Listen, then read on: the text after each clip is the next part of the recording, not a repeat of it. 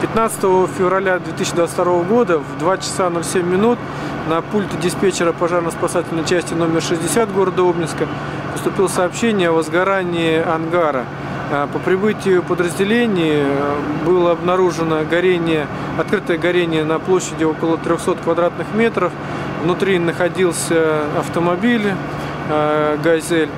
Э, В общей сложности принимал в по- в пожаре силы и средства Обнинского пожарно-спасательного гарнизона и соседние с ним.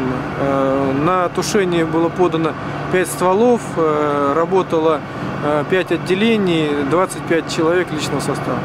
Понятно, пострадавшие, жертвы. Пострадавших жертв э, не- на пожаре не было. А что за ангар, что там было?